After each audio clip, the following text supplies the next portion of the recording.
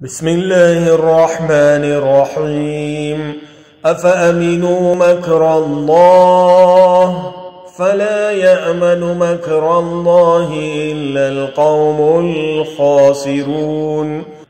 کیا پس وہ اللہ کی اس پکڑ سے بے فکر ہو گئے سو اللہ کی پکڑ سے بجز ان کے جن کی شامت ہی آ گئی ہو اور کوئی بے فکر نہیں ہوتا then did they feel secure from the plan of Allah but no one feels secure from the plan of Allah except the losing people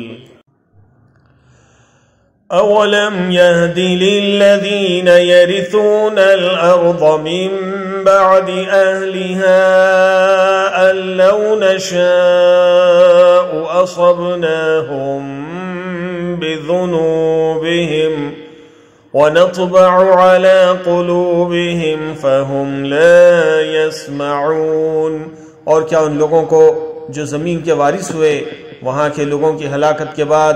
ان واقعات مذکورہ نے یہ بات نہیں بتلائی کہ اگر ہم چاہیں تو ان کے جرائم کے سبب ان کو ہلاک کر ڈالیں اور ہم ان کے دلوں پر